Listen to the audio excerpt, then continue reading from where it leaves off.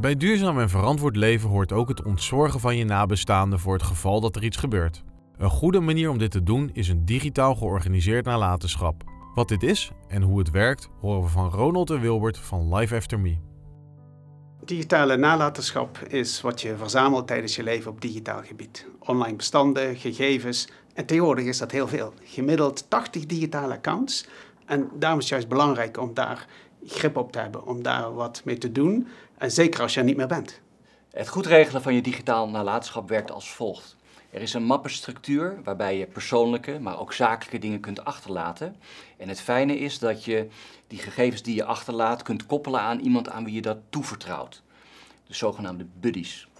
Je kunt een document uh, toewijzen waarbij dat bekeken mag worden tijdens leven, maar ook natuurlijk na overlijden. Een afscheidsbrief voor mijn vrouw zal altijd na overlijden bijvoorbeeld zijn. Het mooie is dat de gebruiker niet hoeft na te denken over allerlei zaken, omdat er een structuur achter zit, een logische structuur.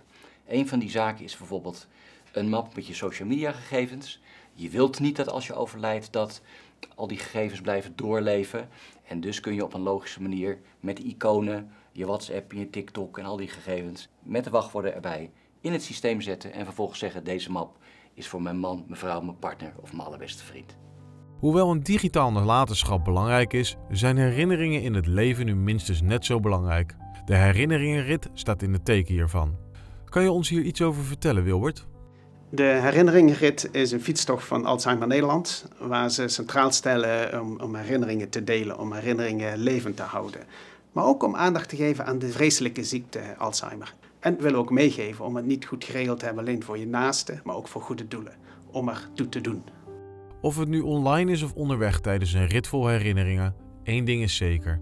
Onze verhalen en ervaringen verdienen een plek, zelfs wanneer we er zelf niet meer zijn. Life After Me helpt je deze nalatenschap veilig te stellen, zodat jouw dierbaren blijven verbonden met jouw herinneringen.